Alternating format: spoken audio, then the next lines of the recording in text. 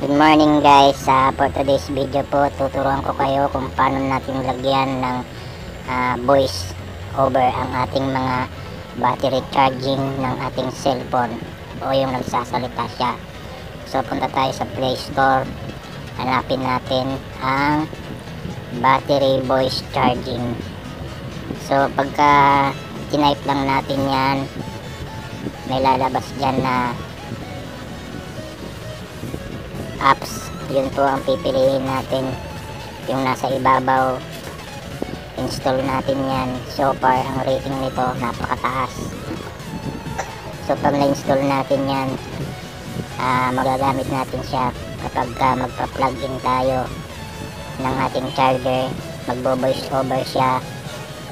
Pag binunot ng charger magbo voice over siya. At pag nag-fully charge magsasalita din siya ang ating mga cellphone. So, install po natin yung charging voice battery. So, pag na-install po natin yan mamaya, ah, makikita ninyo na magkakaroon po ng voice over ang ating ah, mga cellphone kapag nagcha-charge. So, install lang natin guys. Mamaya po ititest natin yan i-open natin ngayon pagka na-install na sa ating mga ah, cellphone. So dito po nandito na tayo sa apps. I-on po natin ang ah, nasa pinakaibabaw. Yan. So pwede po natin uh, i-run ang background pwede pong hindi. Pagkatapos po punta po tayo sa susunod nating ah pwede natin volume din yan guys susunod po ang charging plug-in. Yan. Dito po makikita natin ang default reaction change. Check natin yung voice guys. Pagkatapos nyan pwede tayo mag type dyan ng uh, pwede nating uh, i-text message para nga pag kinabit yung plug-in ng charger natin. O ito guys. Maglagay tayo. Charger connected So, pag i-play text natin yan, yan po ang uh, mag-rehistro kapag itinabit natin ang charger, charger. So, dito po tayo sa charge off naman. Voice din. Ito po yung pag binunot natin ng charger, eh mag uh, sasalita din siya. Ito, type natin charger uh, disconnected. So, kung ano po ang text na inilalagay natin, i-read lang po niya at uh, masasalin po siya sa play text natin yan guys. Para makita natin. Ayun. So dito naman po tayo sa susunod.